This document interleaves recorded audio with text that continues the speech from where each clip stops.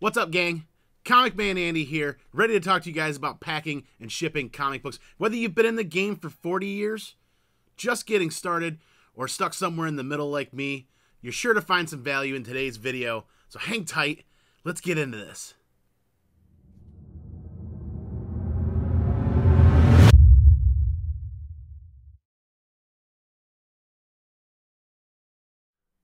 All right, guys. Let me start this off by saying there's more than one way to skin a cat. There really isn't any true perfect way to ship comic books. If there was, we would all be doing the exact same thing every time and there would never be any damaged books. So do the best you can with what you have, but always strive for better and always look for feedback from everybody. There's always room to grow, right? Let's get in to some of the items that I'm going to be using to pack and ship this four book lot. So, I mean, to start, I do recommend some sort of water barrier, water defense. Like, uh, you can get creative with this. You can use plastic things. I prefer to use Tyvek mailers, and uh, you guys will see why here in a little bit. Then you're going to need some inserts for that extra protection. You're going to need a mailer of some sort, some sort of mailer. I know there's a few name brands out there. Then, uh, you know, packing tape. You're going to want packing tape. You don't want high quality packing tape. You're going to need a couple of different types of painter's tape. We'll get into some of the details in a little bit on why I use what I like to use. Don't forget to have a tape measure laying around. It's always best to verify the dimensions of your package. Goes without saying, you'll need some writing implements as well, a couple of markers, couple of pens. It's always really handy to have a uh, box cutter or a razor blade laying around because sometimes you got to get back into that package and fix some things if you forgot to put a piece of paperwork in there or if you find you left a package out having a razor blade a sharp razor blade handy so you don't do any damage to any of the packing materials and can get that tape uh, cut through pretty quickly and easily. And of course some scissors as well can be handy. And then last but not least you're gonna need some comic books of some type to pack and ship. So here it is Here's the packing and shipping method that we use on a regular basis for any of the auctions that we do, trading with friends, or just gifting out books to the local community. Not just local community, but the community throughout the world. All right, guys, let's get started with the books. Grab the books that you're looking to ship. Make sure that you swap the sides of where the spines are at. Now, I always like to have the covers facing inward get them all nice and pretty. One of the things that I did forget to mention at the beginning as far as having some easy things laying around is extra boards. And what I mean by extra boards, reduce, reuse, recycle. Don't throw your boards out. Your extra boards that are past due for your collection or no longer in use, don't throw them out. This is exactly the perfect purpose for those extra boards because they serve as a nice protective layer to prevent razor blades from getting through and getting to those books because some people like to use razor blades to open packages and that's a start. Now we're not going to tape the sides or the top on this because we don't want to create pressure points on anywhere where the spines are at. We don't want to roll anything over here. We don't want to cause any areas of uh, stress or tension on the actual bags and boards themselves. We'll set that aside. And next, what we're going to do is we're going to grab our water defense. Remember when I said I like to use Tyvek mailers? This is exactly why. And one of the fantastic things about Tyvek mailers is they are very similar to the shape of comic books. And they have those reseal, not resealable, but they have the glue right on there ready to go, which is nice and easy. I like to work with Top's facing that way. I'm just going to tuck them right in. Now, Tyvek is not waterproof. Uh, Tyvek is not waterproof. It's not a water barrier like, like heavy-duty plastic. But Tyvek will definitely do the job if um, a carrier leaves that comic package in a puddle for an hour or two. You know, you got some time before that cardboard gets all the way soaked through. This is also going to help. It's not perfect, but I do like it. It's a little bit more flexible. The comics fit in here a little bit better, and it's a lot easier than messing with saran wrap or uh, some heavy-duty plastic bags. There are other people out there that ship comic books more than I do that have this water barrier figured out to a T. and they have found the perfect bags to use for thousands and thousands of packages every month. I just like the convenience of using a Tyvek mailer because as you can see here, I just continue to squeeze the air out nice and easy. Another reason why those backer boards in there are really helpful is I'm not putting direct pressure on the book. It's on the backer board. And then we just pull our little tape peel, if we can get it here, right off of there. I'm going to go ahead and lightly pull and roll and flatten the air out again. And then it's sealed. But next, notice we've got some dead space here. We've got some dead space there. And dead space equals dead comic books. You never want dead space ever at all. Dead space equals dead comic books. So what we're going to do, remember a top is over here. That's where I left the extra space there to recognize where my top was. I'm going to gently slide those comic books all the way down to the bottom to use up as much space down there. Kind of feel with my fingers. And then what I'm going to do here is grab me some 2-inch painter's tape, or close to 2 inch. This is just shy of 2 inches. And I'm just going to use painter's tape. Now, we talked about how I was going to get into why I use the brands that I do. And one of the reasons why I choose this brand of painter's tape is I just get it started right there to go and then make sure that that's connected. So this is the Scotch 3M original painter's tape. You kind of see down in there. Scotch 3M original. The reason why I stick with the Scotch painter's tape is simply because it has a better ability to release from materials than some other brands of painter's tape. Now, what do you mean, Andy? Well, any of you guys that have purchased comic books have line online have eventually run into that really dark blue painter's tape. I don't know what brand that is, but the really, really dark hue, you'd notice it. It's a big difference from the Scotch to this other brand. The really dark hue painter's tape uh, actually sticks to everything, and it's a nightmare. And it, I've damaged comic books trying to peel them off the backer boards and all this other stuff. So I like to stick with Scotch because literally, I mean, it has a much better, much better ability to peel off of materials, a much better release, uh, a lot less damaging, a lot less hassle. So there we go. There's basically the first step right there. I don't worry too much about the end flap down there because there's no dead space down here now on the top or the bottom. Less opportunity for anything to move or slide around in transit. So we're going to move on to the next step. Next step, going to be those filler boards that we use.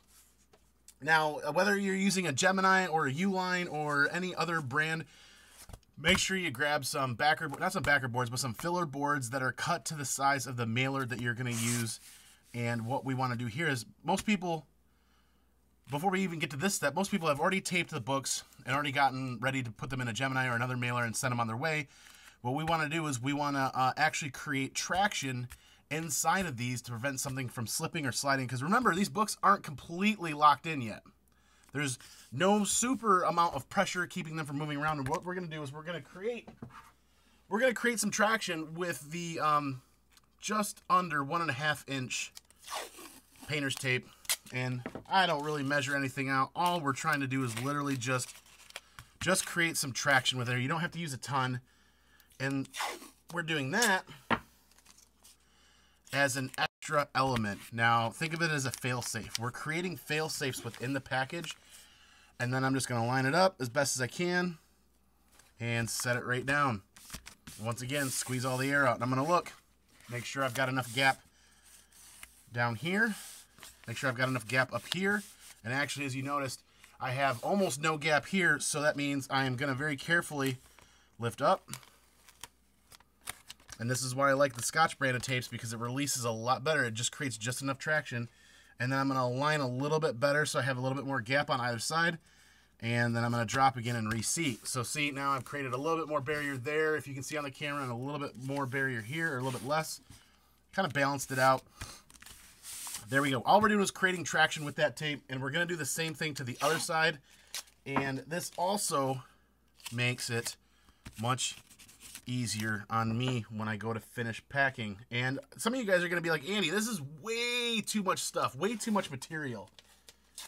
Granted, it's it's not it's not supposed to be a shipping method that's cheap. We don't I don't use the term cheap. I don't use the term quick, and I don't necessarily use the term easy when it comes to packing and shipping comic books because I want my books to be shipped in exactly the same way I want to receive them. And that's as efficiently and as safely as possible. So now we've got a gap in here, a gap in there, and on both sides we've got a gap in here. And now we've created traction so that those that package in the middle there isn't really going to slide anywhere. What, what we're going to do next is we're going to add that typical fail-safe that most people do, the painter's tape on the either side. And I like to stick with the thicker of the um, painter's tapes because you're spread loading the tension. You're spread loading the tension and the pressure that the package will cope with while shipping. And the little bit of tracking that's in there, like I said, it's holding everything in place for me so that I don't have to fight anything sliding around. And don't forget, don't forget to add those pull tabs. Everybody loves those pull tabs. It literally takes a tenth of a second to add that pull tab right there. Now here's what I'm talking about when we added that tape on the end there. There's the tension. We're locking the books in now. Here's the first one right here. We're locking those books in. And as you can see, because of that gap that's in there, none of that tension is being translated to the books inside of the package there. And then we're just going to keep going right around the horn, right around the circle. Here we go. As we keep going, I'm going to make sure that I've got all of the air out so that there's no dead space. Because remember, dead space equals dead comic books, and we do not want that. So I'm going to get the tape underneath there. Make sure all the air is out. Fold over, up, provide a little bit of tension, and roll right into that, right into that pull tab, and moving right along. Next one.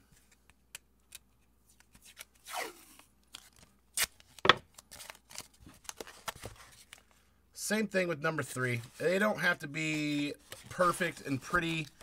They just have to be functional and it just has to be able to carry that tension because like we said now with number three we are really really starting to lock those books into place so they're not going to go anywhere. And sure you can see sometimes a little tail hanging out here. That package is not part of the support element for the comic books. That's just part of the little envelope lip. Here comes number four and you're like man andy this is going to take a really long while well uh, it's only taking me a really long time because we're explaining it. We're trying to keep the camera in focus, and we're trying to make sure that uh, we have everything we need right here. There we go. Pull tabs are good. Tension points are good. One, two, three, four spots of tension that are keeping those books locked in place. It is absolutely gorgeous. I love the way this works. Some people are going to say, hey, why don't you just use two? Sure, yeah, I could use just two and speed it up a little bit, but what if one of those pull tabs, what if one of those anchors fail and you're left with one? There's only one anchor. There's nothing holding these together but the one so then it can slide around. If one of these three fails, there's still three other backing it up. And then if two fail, there's still two. You get what I'm saying? You're creating fail safes within the package. Whether it's a $5 book or a $5,000 book, I'd still want to do the best I completely can. Next, we are ready for the mailer. All right, so we're choosing to use a Uline S-165. We're going to use the Uline 165 for this. These inserts are cut specifically for this size mailer, and you're going to see how quickly this comes together. And it's at this point I would be adding stickers, paperwork, anything else of that nature. And this is a perfect time to actually pause this is an actual whatnot package, so we're to take a pause here. We're to print out all the paperwork. We're to get everything packed up here with stickers and everything and get it good and ready to go. Here we go, guys. I'm going to throw in some uh, cool stickers that we've had done up in the past with the Comic Man Andy logo, but we're also going to make sure we throw in some really cool Til Valhalla Project stickers. Thank you to those guys at Til Valhalla Project. We'll continue supporting them because, like we've said, the mission for 2022 is to support Mission 22. So there's the stickers. Make sure we throw in our paperwork with my terrible handwriting and my terrible signature. There we go, and we're going to fold it back up. Super easy. And then, as I go through my little process of taping, I just like to put the weight down there. Grab a little piece just to just to hold it all together. And I'm trying to make it as square as possible. Sometimes these things kind of fold funky, but I like that these fit into a lot of different size mailboxes. This is a much smaller format, much like the Gemini. I think the Gem Gemini is just a little bit longer. These are both about the same width. They fit into a lot of mailboxes. And like we said, with these Uline mailers, these Uline mailers, the outer mailer itself is 200 pound test. And then the inside inserts that we use are also 200 pound tests. You're getting almost 400 pound tests worth of armor for those comic books, of cardboard protection for those comic books, above and beyond Gemini, in my opinion. And these Uline mailers, with the cost of products nowadays, these Uline mailers and Gemini mailers are about the same price. Gemini has gone up that much in price now. And I always like to take my thumb, just make sure that quality quality tape is sticking on there really good. And we didn't even talk about packing tape yet. We did a little bit. I like to stick with the super heavy duty Scotch uh, heavy duty shipping and packaging tape. I feel like this stuff is gold when it comes to packaging up books or anything that's going through the mail. It always seems to be a lot thicker. The adhesive seems to stick a lot better once you get that locked in there. And so much so that I feel like just that one section of tape is going to be more than enough. Next, let's do the finishing touches. So we'll get our blank side here. And through the magic of thermal printers, we're going to use our Dymo 4XL uh, label maker. And uh, we're going to simulate just throwing a label right on there. That's how super easy those are. They were worth every penny. Absolutely love them. And then, if I had forgotten to mention it, we like to use extra stickers. These are super cost effective, super affordable get them through Amazon. Look them up. Look them through. Look them up through any of the vendors and see if you can find better pricing. I tend to go through Amazon for a lot of these stickers just because they're so convenient with our account there. And always make sure to add an additional on the back. That is it. That is the basic packing and shipping method that we use for anywhere from one up to eight, maybe 10 raw comic books, depending on the size and shape and thickness. Because uh, those uh, Tyvek mailers will hold, I believe, up to eight or nine. Really kind of dependent on the books and the size. But that's it. Let's move to the next view. Okay, gang. A couple of things that I missed at the very beginning that are super important was one, make sure you have a very trustworthy scale. Even a 30 or $40 scale off of eBay will do just fine. Always make sure that you're a half an ounce to an ounce over. Don't go under on your weight. Going under on your weight tends to make things kind of awkward and kind of weird when uh, somebody else has got to pay for the extra. But having a scale is paramount to, to packing and shipping comic books. And automatic tape dispensers. I know there are tape dispensers out there that co- just constantly will whip out tape as you grab it. Um, I'm not into that avenue yet. I haven't kind of dipped into that. So just the little eight or nine dollar tape gun from the uh, home improvement store, and then I just pull painter's tape right off the rolls, and I'm fine with that. But really, guys, um, Scotch brand original painter's tape is really where it's at. It releases a lot better. I've had much better luck with this. If you guys uh, have ever received a package with the dark painter's tape, you'll know what I'm talking about. That's really hard to pull off without ripping or tearing into something. And always remember, reduce, reuse, recycle. Don't throw out your backer boards. Your backer boards are perfect additional armor when you're packing and shipping comic books. And these U-line mailers, these U-line mailers tend to be reusable more often than not. They're much more durable than Gemini mailers. I'm hoping that people that have received these from us are using them an additional time or two. That's reducing waste and reducing the overall cost for a lot of other people. They're getting that benefit. So uh, that's why I'm going to stick with using these mailers as they even they even if they continue to go up in price, we're going to keep using those ones. We're really happy with those. But yeah, that's what we got. What do you guys think?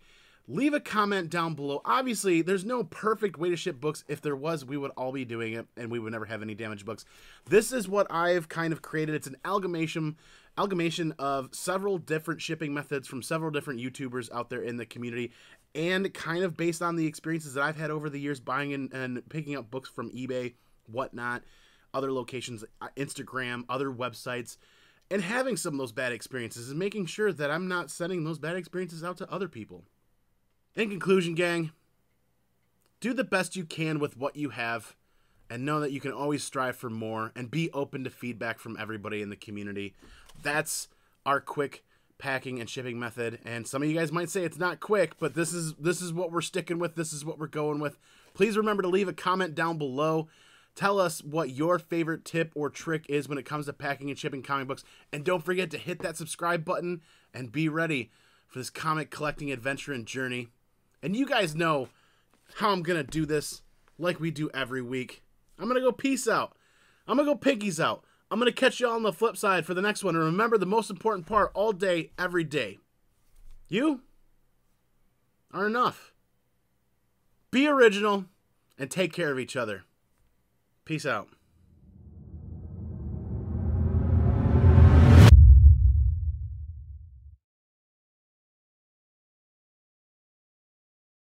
Be excellent to each other.